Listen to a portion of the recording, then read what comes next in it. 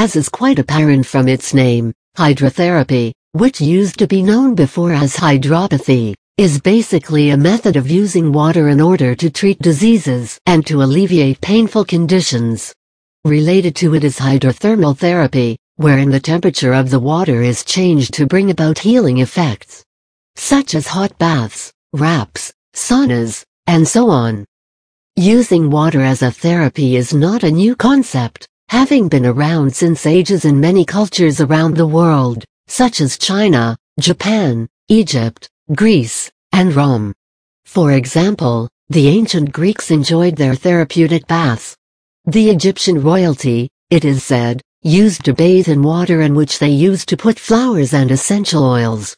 And of course, we all know about the communal public baths that the Romans loved to indulge themselves in. As a matter of fact, Hippocrates, the father of medicine, advised having baths in spring water in order to alleviate illness. How does hydrotherapy work? When the body is under stress or in pain, chemical changes occur, which result in the pulse rate and blood pressure increasing.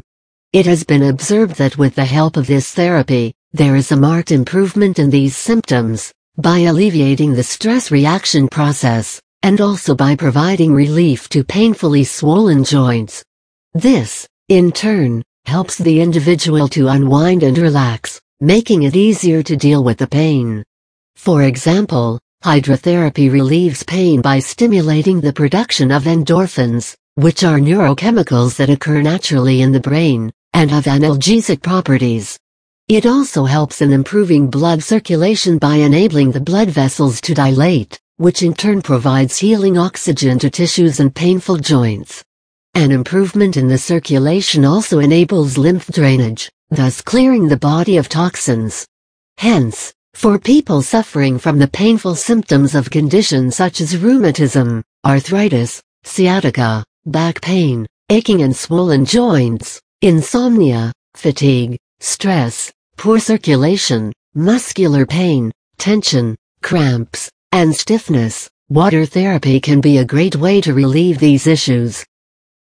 Various types of hydrotherapy In the various methods, the body is either immersed in water, fully or partially, such as a hot tub or a footbath, or the water being applied directly on the affected area, such as a warm compress or an ice pack. Full immersion bath. In this, the person is immersed in water, which is heated up 90-95 degrees Fahrenheit, up to his or her shoulders, for about 20 minutes. The water can be plain or contain aromatherapy oils, herbs, Dead Sea salts, Epsom salts, or even special kinds of mud. Sitz bath also known as a hip bath. In this the person sits in a bathtub, immersed in water up to the hips. The sitz bath can either be cold, or alternate between hot and cold. This method of hydrotherapy is particularly effective for ailments that affect the abdomen as well as the reproductive system, intestinal and kidney pains, menstrual disorders, hemorrhoids, abdominal cramps, congestion in the pelvic region, and inflammations. Hydromassage. In this, jets of water that can either be powerful or gentle, which are positioned at various heights, are directed to various parts of the body. It has a wonderfully relaxing massaging effect.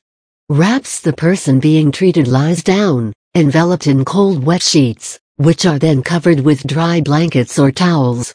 These are removed within an hour or so, with a bath being administered. This method is used for alleviating muscle pain, disorders of the skin, bronchitis, and colds. Compresses the individual is wrapped in towels or sheets that are soaked in cold or hot water, or a combination of both in an alternating way. Cold water has a stimulating effecting, causing the blood vessels near the skin to constrict, thus diverting the blood to inner areas.